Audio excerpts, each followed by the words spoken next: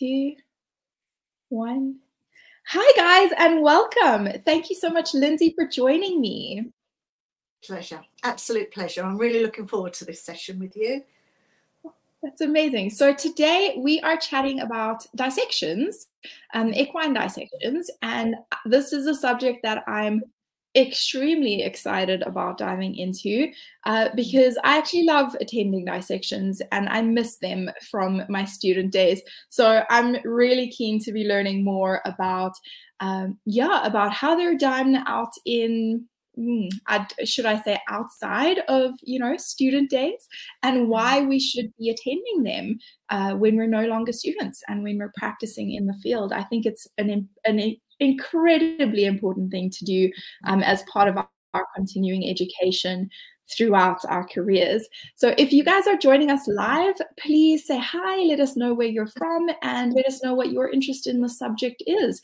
Um, let us know if you've attended dissections or if you want to attend dissections in the future. Um, we'd love to hear from you guys. This is a conversation, so we're live here with you on social media so that you can ask your questions, chat to Lindsey, uh, get to know her, and yeah, have your questions answered. So welcome everyone. Uh, Lindsey, will you please tell us a little bit about yourself and about how you got involved in dissections? Yeah, well, I suppose when you say dissections, are we talking about whole horse dissections or are we talking about hoof dissections? Because the hoof is where I started. That's where I started looking inside the foot because mm-hmm. only because I was called an adult returning to riding and my son was dating a girl who had horses and mm. I went to the barn one day to drop him off and there were all these horses there and oh my gosh it was like it was like a religious conversion almost the smells and the noise and the you know at the back of my neck when they were sniffing the back of my neck oh my gosh it was wonderful so i decided i wanted to get a horse well fast forward i did get one and I wanted to go barefoot. And I needed to learn to trim because every time he was trimmed, he was very sore, and mm. I wasn't. Mm. And it meant I'd have two weeks riding, and then two weeks he would be so sore he couldn't do anything. So I thought I'll learn to trim, and in doing that, I needed to learn what was inside the foot. That's that was really I just wanted to know what all the components were. And so I got some cadaver feet, which are dead horse's feet basically and looked at them on the inside. I put I put them through my husband's bandsaw down in his in his uh, shed and yeah he wasn't really very happy about it. But i got some amazing images and i thought wow! So i started videoing and i put them on social media on facebook. And so my page is called the study of equine hoof and that was really where i started. And the whole the whole purpose of it was to share what I was doing, learn with me. I've always said from day one, I'm not an expert. I mean, none of us will be an expert until the day we die. And even then, we haven't learned everything, you know. So I always say, learn with me and let's investigate this together. And my Facebook page did really, really well. I think we're up to, gosh, 70,000 now. We're almost inching up to 70,000 people all around the globe. And that's just on the foot. Now, I then realized that, you know, you can't just look at the foot in isolation. You have to look at the whole horse. And this is what everyone was telling me. And I'm thinking, what do you mean the whole horse? It's only the foot I'm interested in. And they go, oh, no, no, because, you know, it could be shoulder, it could be hip, it could be back, it could be. Right. Okay. So I need to look at the whole horse. So how do I do that? Well, maybe dissection might be the thing to do. And I went to one, my first one was with Sharon May Davis, and this would have been about six or seven years ago. And I'll be honest with you, I was like, ooh, okay, didn't quite um, didn't quite push my buttons because it was all muscles. And to me, it was just red on red on red, and and this and it just didn't it didn't go in and I didn't quite get it. And the thing I wanted to look at was the feet. And I kept looking at this cadaver on the table and all the body workers were oohing and ahhing about the muscles. And I was thinking, I just want to look inside those feet. Anyway, that's that's really where I where my passion was. And then going on from that, I've started doing whole horse dissections.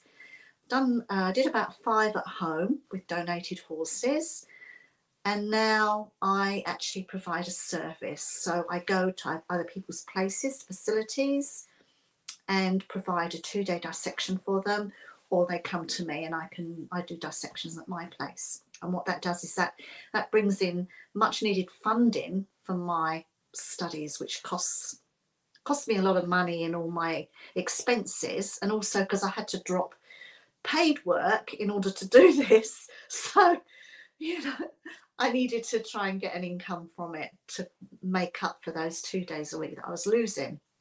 So that's really how I got into it. And I'm addicted.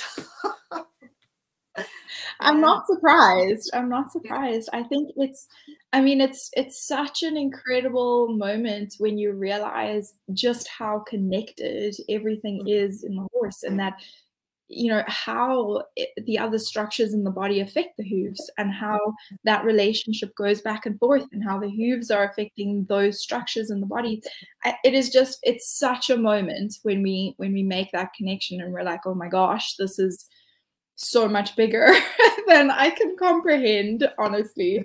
Um, so, for someone, Lindsey, who's never attended a dissection before, mm-hmm. um, how does it work? Can you kind of describe yeah. the experience? Because I, I know.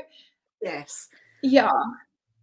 Okay, so let's talk about if if you come to my facility to to, to, to watch a whole horse dissection. So when I say a, a facility, it's basically my home, which my husband has created me uh, an outdoor area with an undercover, purpose-built undercover area and drop-down sides, clear sides, big concrete plinth, and we have a trolley that the horse goes on, so, and so it's all purpose-built for what I need, what my needs are.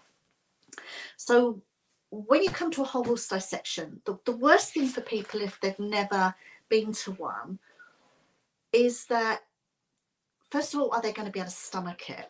And is it going to be really bloody and gory? And is it going to, are they going to feel really yuck about it all? And what I say to people when they come, the first thing is, is I say that try and pretend that what we're looking at is just a, a model on the table. So they'll walk around the corner.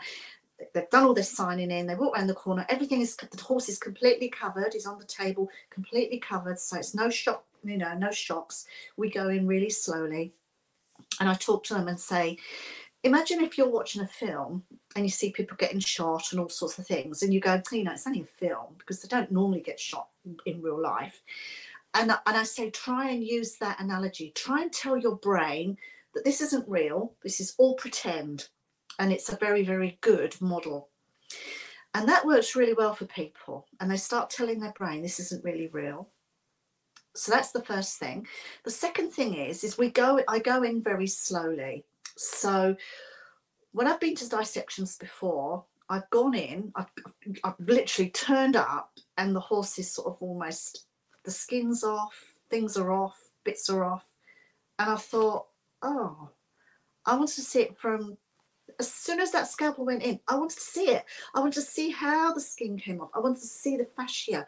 I wanted to see it from the beginning. I didn't want to see it all dismantled because I don't get it. So for me, we I don't touch anything until the students are there. I don't even pick up a scalpel until they're there. And we go really slowly. And I start by taking the skin off very slowly from the spine area and I start to uncover the shoulder. And from that moment onwards, it's not bloody and it's not gory. There's no blood because I have ways of making sure there isn't any. It's really clean. There's no smell because I use a spray and I spray everything. So if you can spray it and stop the bacteria breaking down the uh, the tissue fluids, then you don't get smells at this stage.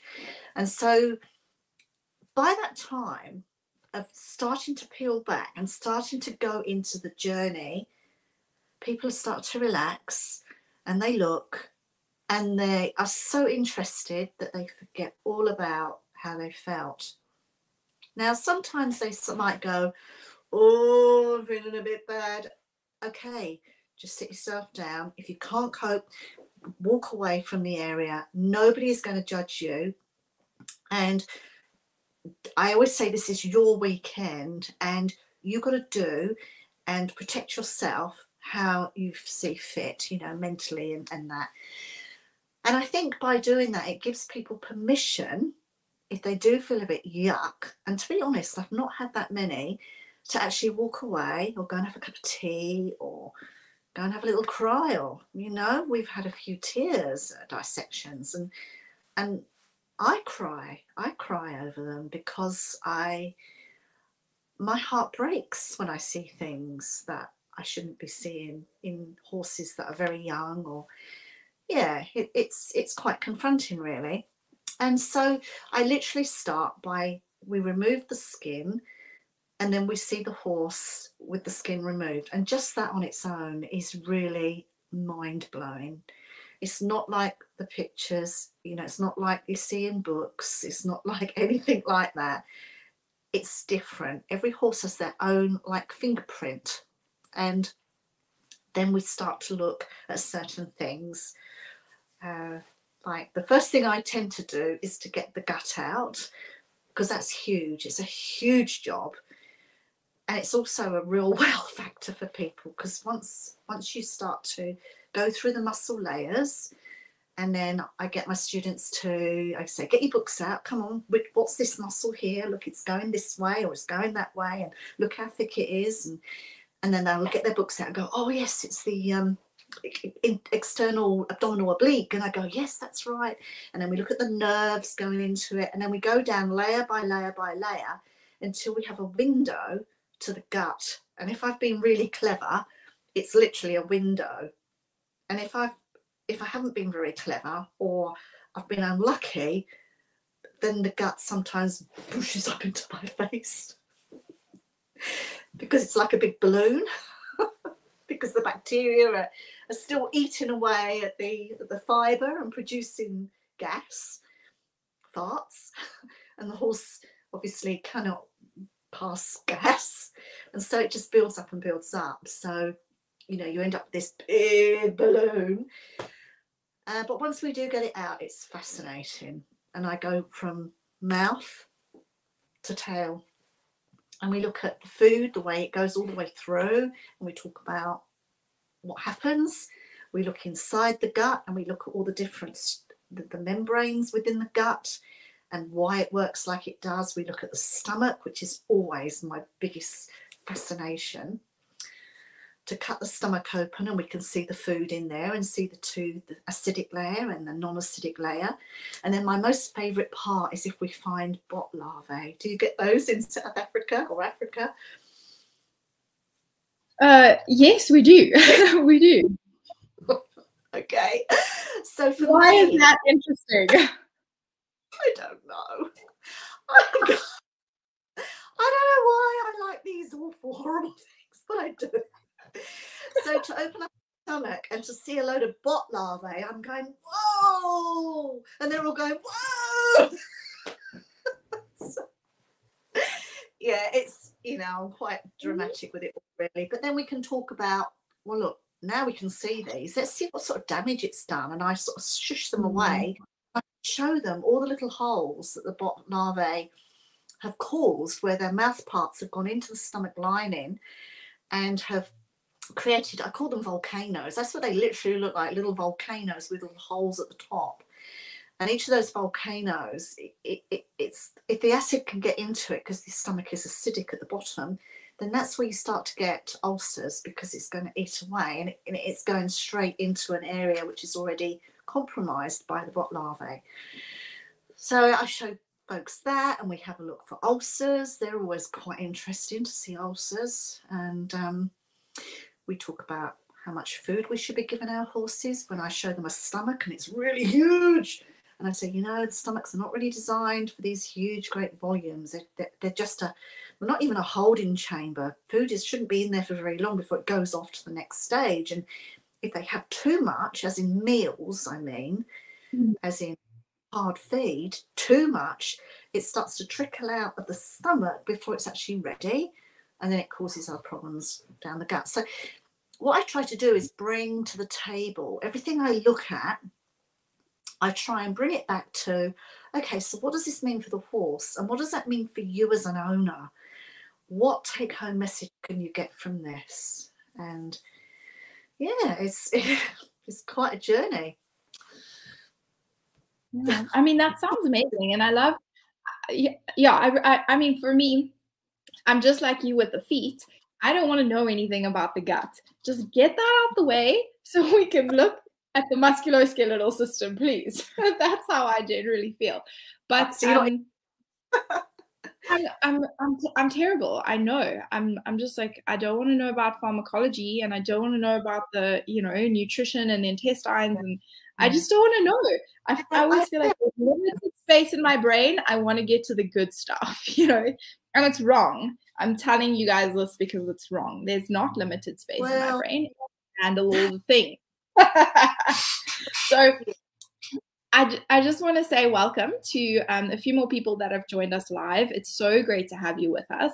Uh, I have Lindsey Field, and we're chatting about whole horse dissections um, or just dissections. But I don't think you can talk about, you know, dissection of just one area without considering the whole horse as well. Um, we're here to chat with you guys. So if you have any questions, anything you want to discuss, anything you want to know, please ask those questions, and let's let's have a conversation Uh, that's why we're here live on social so that we can chat with you.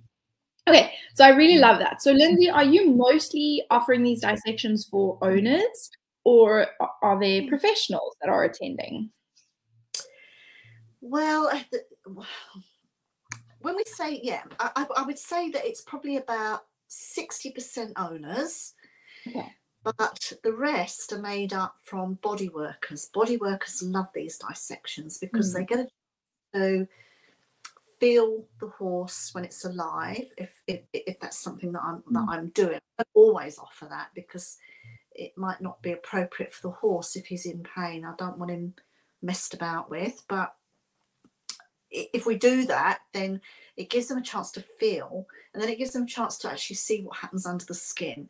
And body workers love the muscle upon muscle upon muscle, which is not really my thing. Like the gut's not your thing. Well, muscles are not mine. And I know that I've got to read and learn all these names, and I'm thinking, oh my goodness, it's just red upon red to me. But you know, I've got to learn it. And all I want to do is get the muscles off so I can get to the bones. But you see, the thing is, is that in a whole horse dissection, to get to the bones, all you're really looking at is a load of red mush because unless it's cleaned up, like clean bones, you don't really see anything and you can't really appreciate it. So the next stage would be later on when I've processed the skeleton, a year later, for everyone to come back and then we look at the, the bones because they tell another story a different story or they collaborate with what you've seen so say for example i had this lovely horse he was called andy and he was huge and he was a huge great warm blood and he got really sacroiliac type issues and he was he didn't want to be ridden he was about 22 he was sold as a riding horse, but as soon as he went out to be ridden, he just wanted to go back. And the owner just knew he wasn't happy. And she finally gave him to me, donated him to me, his body to me for dissection.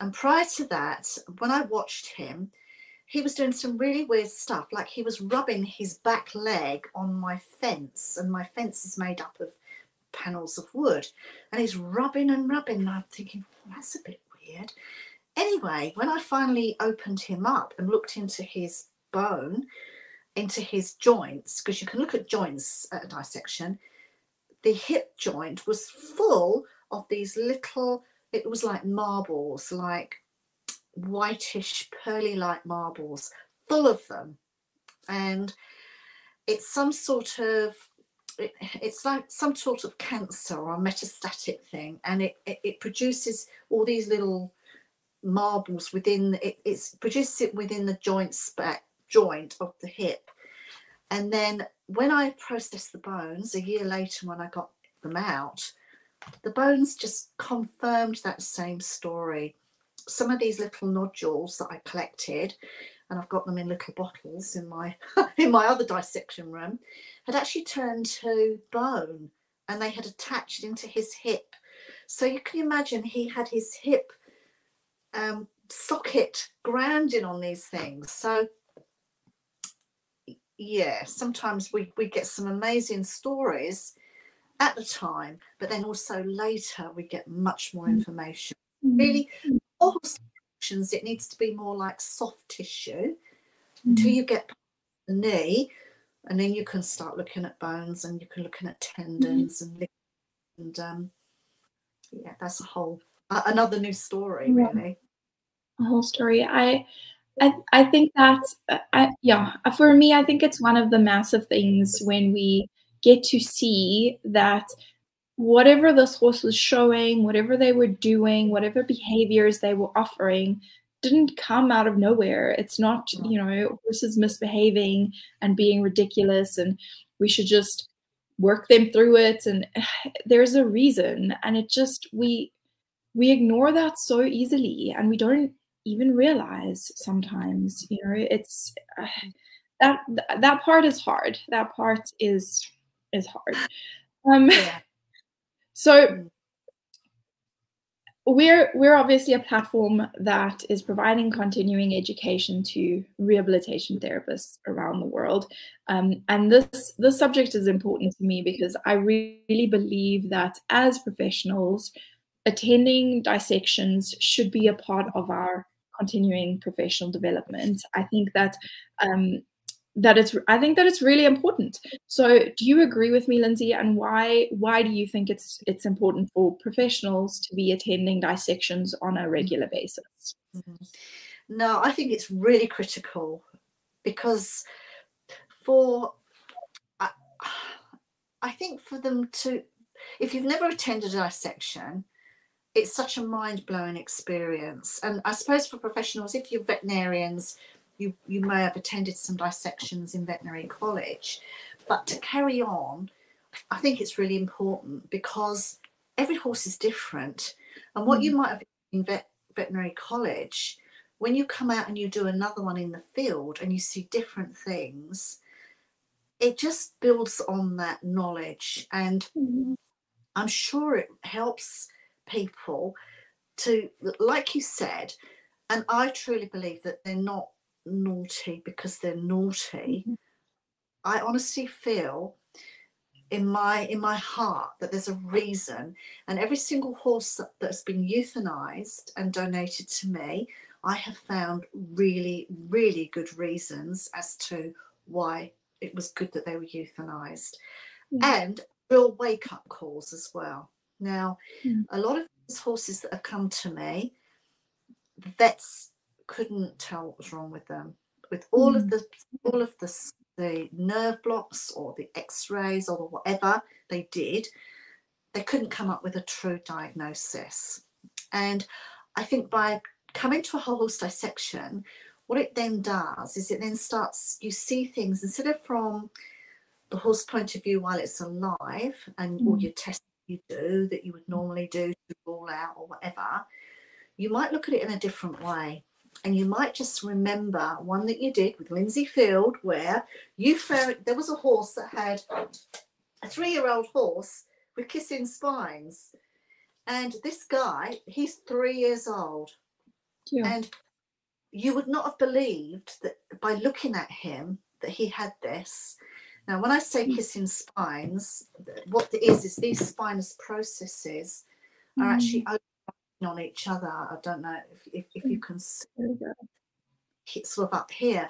You know, they shouldn't even be touching. And and they are, and they're actually wearing into it. Sorry, I'm not in the right place, wearing into mm. each other. Mm. Now you can see how young this guy is, because can you see this little line through here? Oh, he's oh. He's a he was a baby, And Yeah.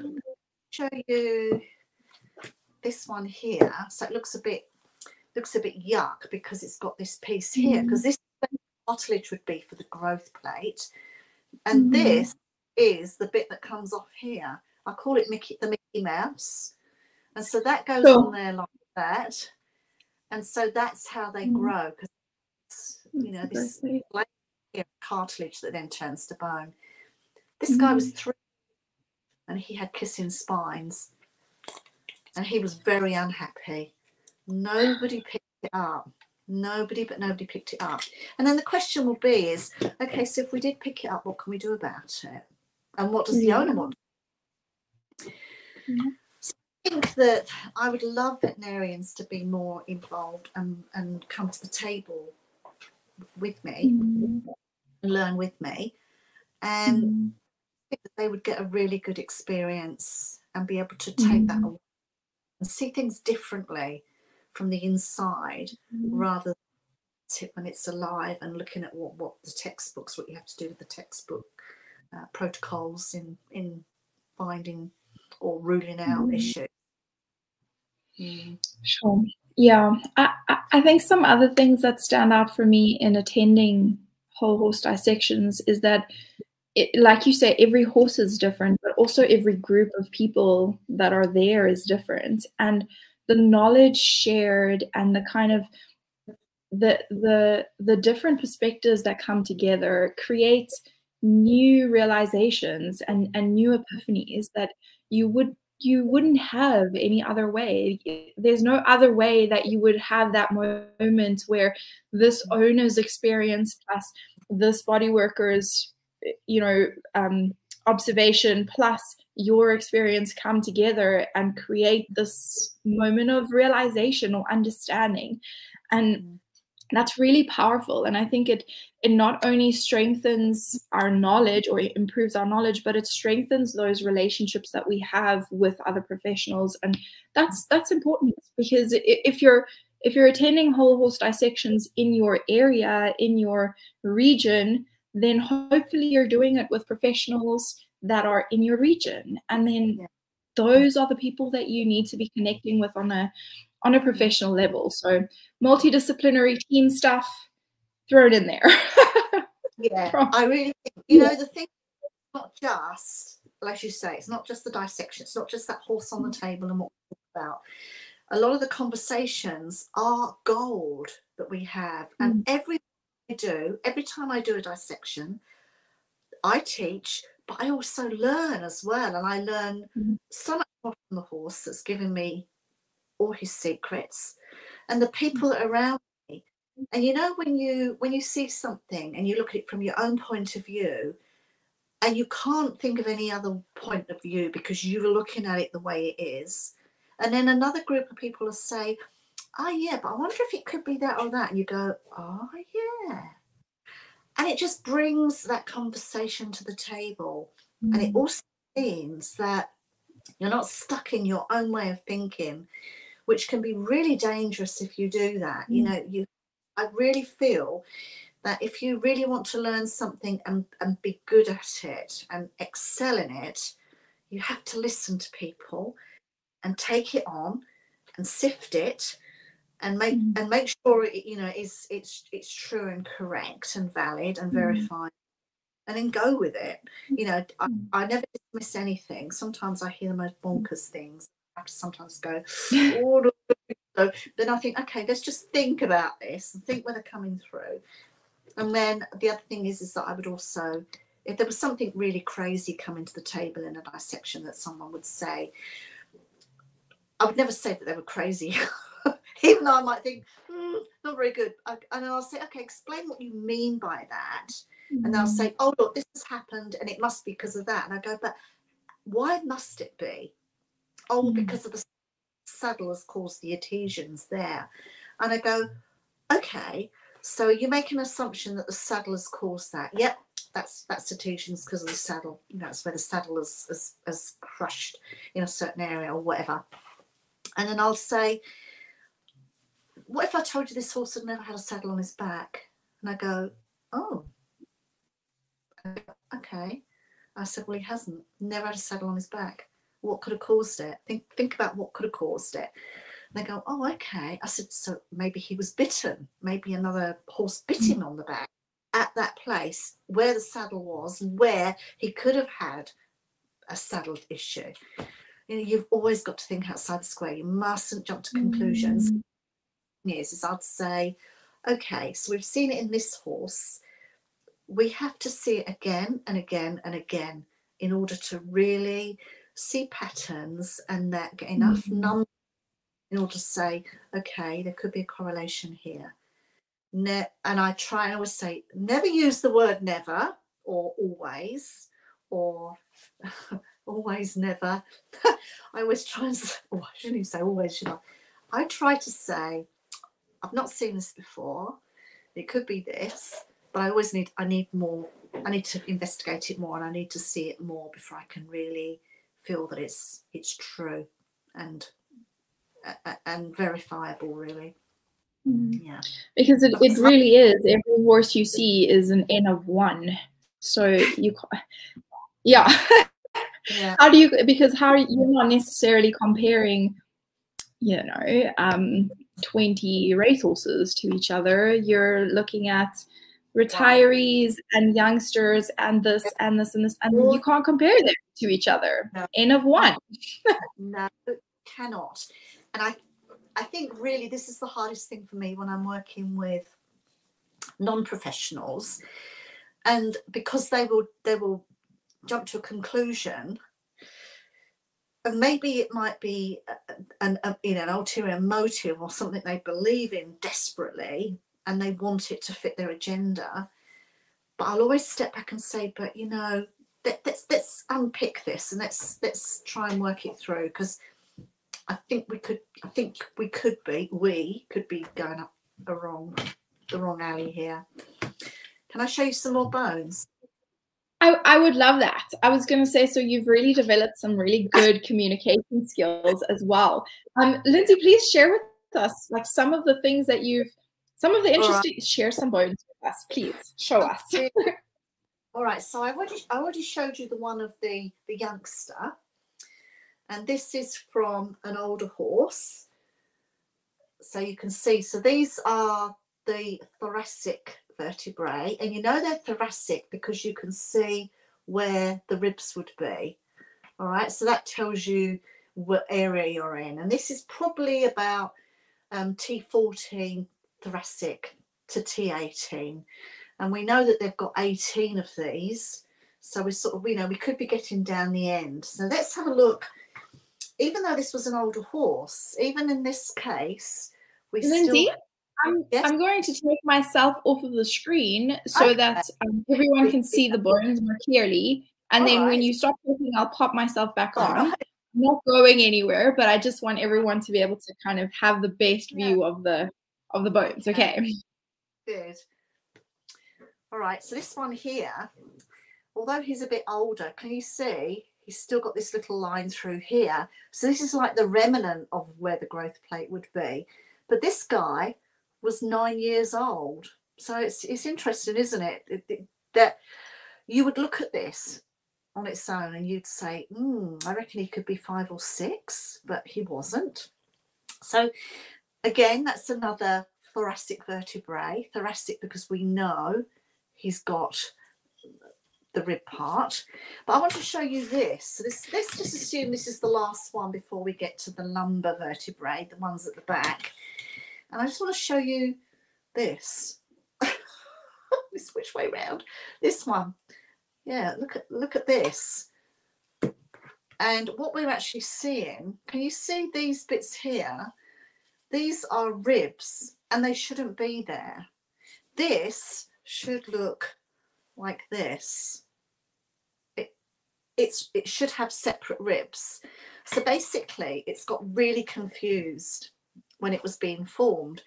And it doesn't know, and it's genetics, it doesn't know whether it should be a thoracic or a lumbar, because the lumbar vertebrae have these bits coming out like this, these processes, transverse processes they're called. So this is a, a really good example of a, a, mal, a malformation.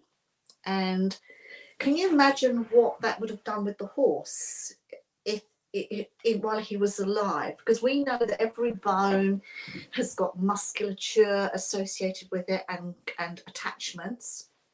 So my question would be is the poor horse you know what what would this have been like for him yeah. and it's i mean those last ribs are are more mobile than the ones before because they're not attached directly to the sternum so there should be more more movement happening there and more ability like that would affect the breathing and the diaphragm and yeah probably the nervous system as well exactly so and so what was what was this horse experiencing? What was the owner kind of experiencing and observing yeah. alive? This was a thoroughbred. He was mm-hmm. 18. He'd never been raced. And he would buck and rear at a gait change.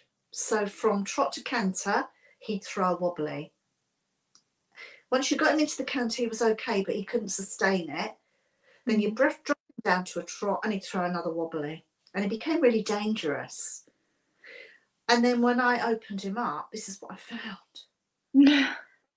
was it just the was that just the last rib that was fused or yeah. were there fuse? Yeah, yeah, okay. it's BT eighteen. That's so, so interesting. I know, it, and and there is a remnant. I don't know if it is a remnant or if it's just a little bit of bony outgrowth of, of where the rib might have been. I know it's bizarre. And then this one here has just got one. So we've got this here on this side, just like I showed you. But on this side, we have the gaps ready for the rib. We have the joint. So I mean, that's, that's incredible. And uh, you get so you get these, but but this is the even though this is N of one, this is one horse. It makes you realize that this is out there. It's not just one horse that has this. There will be other horses that have this. And how do we recognize that? And how do we work with that? It completely changes the picture. It's like, okay, well, I want to perform rib mobilizations and I'm performing them on a rib that is fused to the spine, then I'm not mobilizing the rib. I'm mobilizing those facet joints. And what what difference does that make? That's just yeah. And and those are not the only malformations, right? There are malformations in the transverse processes of the lumbar area as well, which which are also really significant. Yeah. Yeah. And then we've got the cervical, you know, the um C6 the transformations. Uh, but then you know the question is there's not enough. In, I don't think there's enough. Well, there might be, but I've not seen enough information that categorically correlates performance or movement with these issues. I don't think we've done those specific studies because, first of all, you'd have to be looking for this, wouldn't you? You know, this if you wanted to correlate that to some issue within the horse. And how many people will have done that? I know Sharon May Davis has done a lot of work on the C6, C7. Mm. Um, they don't, they, don't, they call what's it called? The vertebrate. They don't call it uh, complex. M, but I've, I've seen different names for the abbreviation, and now I'm like, now I'm now I'm down myself. Yeah. I suppose my question really now is that okay, if we see things that are like that, so they obviously are not right. Mm. But what does it actually mean to the horse? And it's all very well me saying, and what the owner said about this guy was the transitions.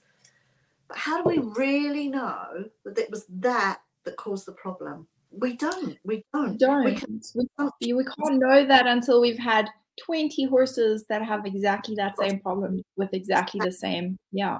Exactly. And the thing is, is they all behave so differently. And we know that they're you know their pain their pain responses are so different as well and mm-hmm. that like sue dyson did though that was it the 20 signs of pain which are mm. so really really subtle and some horses will show things and some won't right. it's really to know isn't it i've got another, yeah. another lovely thing to show you if you've got time yeah yeah we have time all right so these this is the the lumbar side. This is the lumbar. All right. Now it doesn't look very correct because what happened was is I said to my friend when he put his horse down and he wanted to keep the meat, I said, Can I have the spine? He said, Yeah, that's fine. I'll save it for you. Well, he did save it for me after he'd given it to his dogs in the kennel and after they'd gnawed all these spinous processes off and transverse processes. I was heartbroken.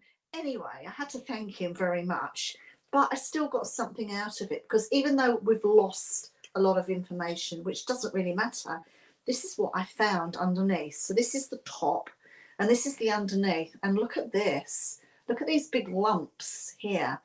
And these are huge, great chunks of bone there. And the whole thing is rigid. It, they don't even come apart. And it's almost as if the whole, it's like it's fused together to try and stabilize itself. That's what I was thinking. You know, I could be wrong and this could be something completely different. But I thought, my goodness, imagine having that in your in your lumbar area. Not very nice, eh? Sure, that's that's incredible. That's incredible, and and very sad that he um, gave that to his dogs. but but so like he gave it to his dogs uh, completely fused like that and you haven't i mean it's just fused it's completely fused and it doesn't get they don't look like that you know they normally all come apart yeah yeah, uh, yeah yeah yeah i mean some of them are but i mean that was a really good example of something yeah. quite different and i'm seeing so many strange things that it blows my mind i think yeah it I think we should also, you know, put on our glasses and say, well, this horse is euthanized for a reason. so, you know, maybe not everyone looks like this, but but yeah.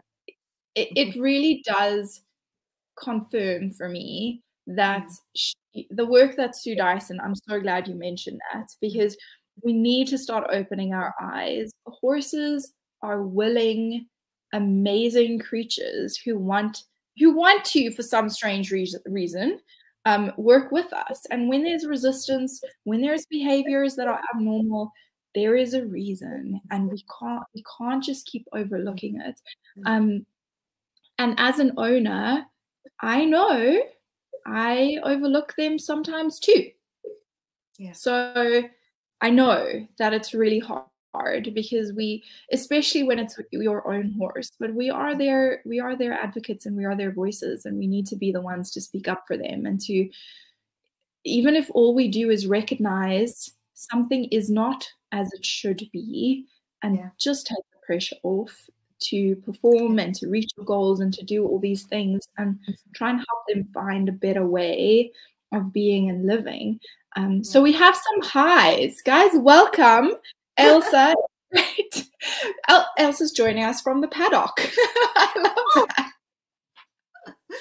I love that. Don't show your horses the pictures. This is sensitive content. No, okay. no, no. It's don't, don't. It's horses. Keep it to yourself. Keep it to yourself and just bring the good stuff to your horses. Um, and Iftikhar, it's so great to have you. Welcome.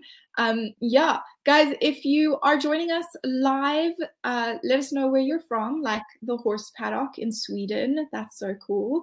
Um, I, I think this is a great way to just chill in the paddock and be with your horses.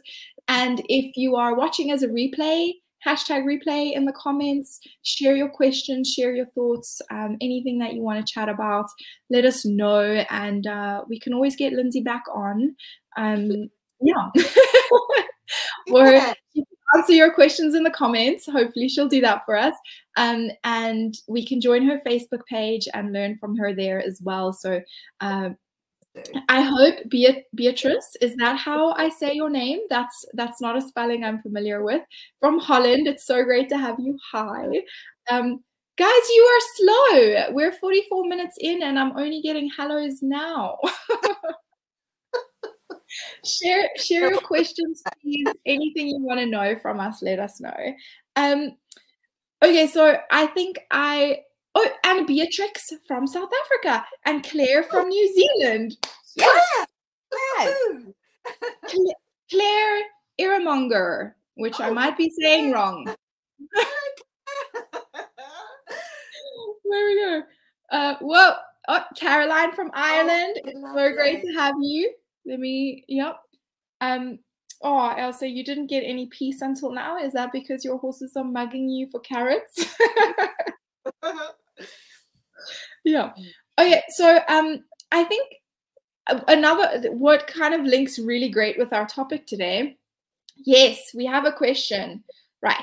I do have a question. Statistically, how often do you find changes in horses that could potentially be attributed to poor performance? Great question. Great question. I can't answer it. Hi from Latvia. Right. Think about it. How often do I find changes in horses? So, do you mean at dissection that could be attributed to poor performance? So, we're seeing something on the dissection table and then we can then relate that to why they couldn't do a certain thing. Is that what you mean, Ants? I think that is what she means. Yes. So, so I think it comes down to that thing, right? There's a reason this horse is put down. Do you find the reason? Most always. I've always mm. found a reason. And you know, the thing is, the, the thing that I'm more worried about when I do this is that I'm not going to find an answer. And look, you mm. see, I'm vet, so I'm not really, I'm not allowed to diagnose, but I can use my experience to say, I've not seen this before, or I have seen this before, and I can, I know my anatomy, and so I mm-hmm. can, I can use that. I can use my experience with that.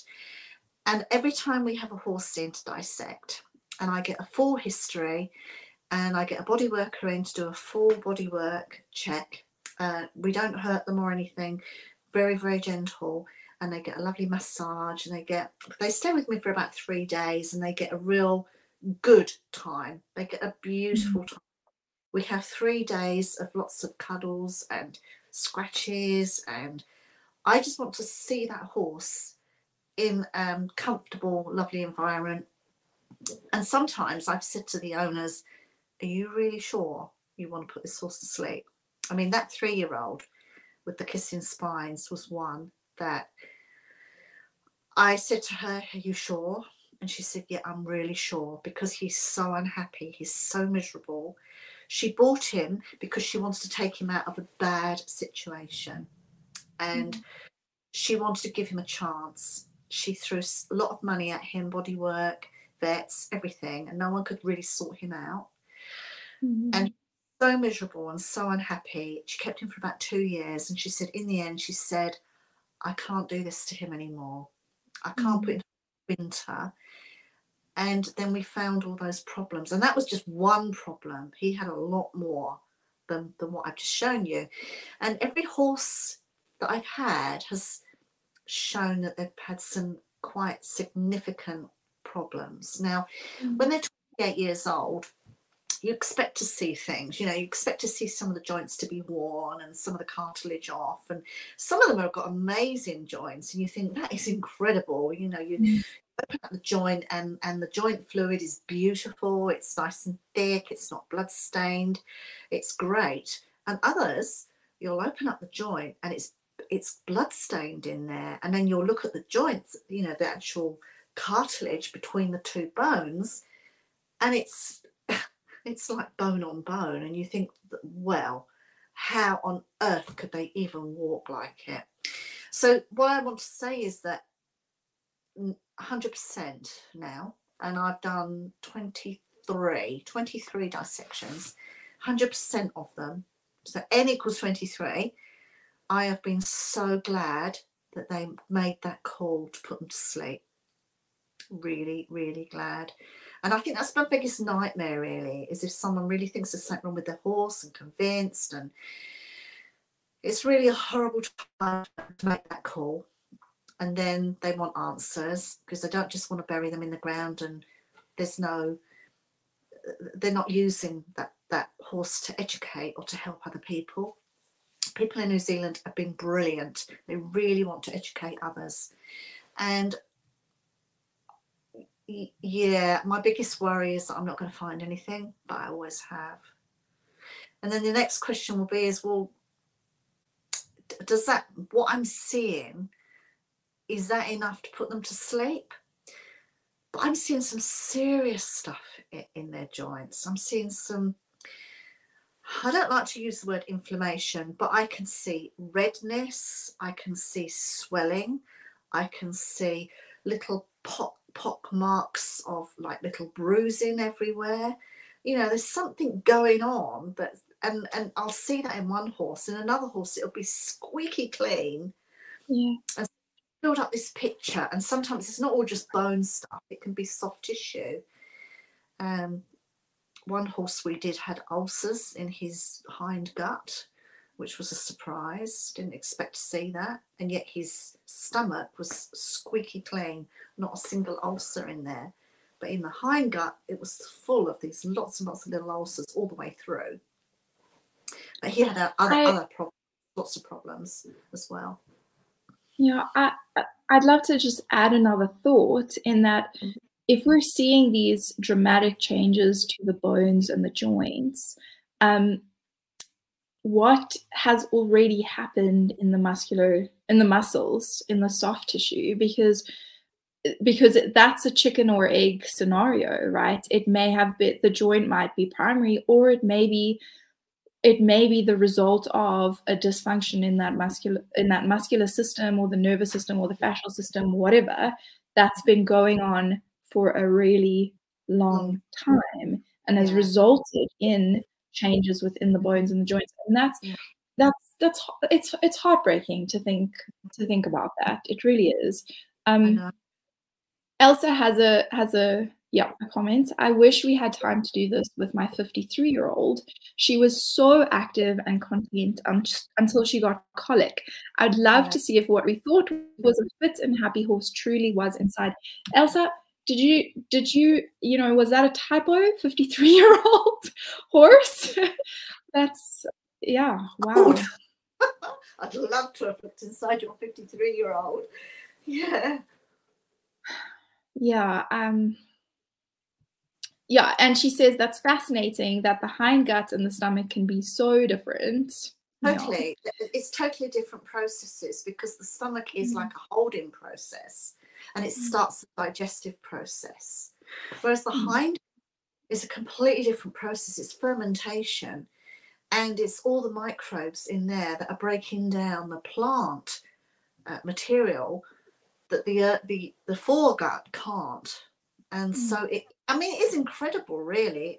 It's so fascinating, and um, you don't like the gut, but I do. I love the gut. it's my most favorite thing. um, Elsa says she did her own stretches every oh. morning. I love that. Um, Elsa, have you watched the webinar series in the in the Equine membership with um, Tulia Luamala? Because she talks about um, horses, you know, we all stretch ourselves yawning. Yeah. It's all a part of it. And yeah. there's a word for it, and now the word is gone from my mind. Oh. And I love that word when I, but it's something with a P well, I'm gonna try remember, and then I'll put it in the comments. But yeah. you, have you watched those webinars because they're they're so good, they're so good. Oh look, I um, am I'm time poor, and I have to really pick what I what I'm trying to learn because, and I have to really niche it because there is mm. so really to learn, and I want to know as much as I can about each little bit. And mm. you, your your um El, was it Elsa that's saying about her 53 year old? What would you find inside? I think also we have to put into context that we might be finding things, but they actually might not be significant. So, like mm-hmm. if you have people, 100 fit, active 25 year old men, and you put them all through an MRI scanner, what would you find? Well, you could find a heck of a lot. Does it mean anything? just because we see it does it mean anything and so this is why we have to be really careful when we see something not to jump to all these lovely conclusions that we want to and look i i do it and i have to rein myself back and say look you know you don't know that n equals you know n of one like you said when we say n of one it means n means a sample which means we've got one in our sample and i'm always saying we've only got one in our sample. We really need, we might need a hundred to actually get an answer. So I, I try and be as open-minded and critical thinking as I can. And that's the way I've been brought up as a scientist to have a critical thinking mind. But I can't help but keep jumping to conclusions, especially when I see horrible things like, you know, like this. Yeah. These are riding each other. That must hurt. No, exactly. El- Elsa says, yes, I have raging arthritis since I was eight, but I still do this job okay and in tolerable discomfort. sure. Um, and and and that's very important and the re i mean the research supports that when we look at um, x-rays and diagnostics that the the clinical signs don't always correlate to radiographic findings um, and it will be the same thing here that yeah, yeah it, it, just because we find something in the horse is that clinically relevant and i think it's fair to say if we're dissecting a horse it is likely that it was clinically relevant to that horse because that because that horse was likely showing behavioral changes yeah. that that that meant that it wasn't coping um yeah. yeah but does it mean that another horse with exactly the same thing exactly. might not be coping they might be coping perfectly. So we can't yeah that that is that is the problem is that it just we can't draw a blanket line. We're all individuals. Um elsa is 57 that's a long time with arthritis and she's and she's coping. She's functional. She's living life. Um, she's doing her job. That's incredible. And maybe if i had that level of arthritis i, I don't know. It, yeah maybe i wouldn't be so that's that's the thing. I'm i'm gonna cut us off because we've we've we're hitting an hour. Um, yes. um we're hitting an hour. So guys if you want lindsey back to chat with us again let let us know. And um and maybe she'll be willing to do that and share more stories with us and we can continue this conversation. Um i hope that it's a conversation that we can that we can continue having regularly just about dissections, about learning about the individual horse. I'm, I'm very excited about that. Um, and it ties in so beautifully with the Vet Rehab Summit this year. So if you are not yet aware of our Vet Rehab Summit, um, we hold an annual conference in November. This year it's a two-day event on the 10th and the 11th. It will be a live event. You guys need to be there because the recordings will only be available for a very short space of time. Um, and we're talking about myofascial chains. And we're very blessed to have Vibeke Elbrønd and Rikke Schultz as our lecturers. They'll be lecturing on both the equine and the canine uh, myofascial chains for two days. So put that in your diaries and please, please be there because especially equine, not canine practitioners, we don't know anything about this yet we need to hop on board. We need to catch up because the equine people are way ahead of us. Yes. Um, yes. So um, loads of comments and thank yous, uh, and everyone would love to hear more and have you back again, and maybe some training too. Yeah, like more foot stuff really, because that's my expertise. You know, I've been that's right. foot for six years now, and I'm I'm working with Professor Pollitt, who is a very well known anatomist of the equine foot and discovered one of the causes of laminitis. And that's what I'd really love to do with you guys and show you a foot and see if I can twist the camera around so I could do I could show it to you. Because at the moment it'd be a bit Let's difficult holding it up like this. So we have to sort it out. I'd love to. And then you can get folks asking questions and then we can go down lots of different rabbit holes. But that would be my that's my real thing. we would love I would we would love to do that. Let's we'll organize that for you guys. Um, if you're watching the recording, hashtag replay, share where you're from, join the conversation. We want to hear from you guys. Bye everyone. Thank you. Bye.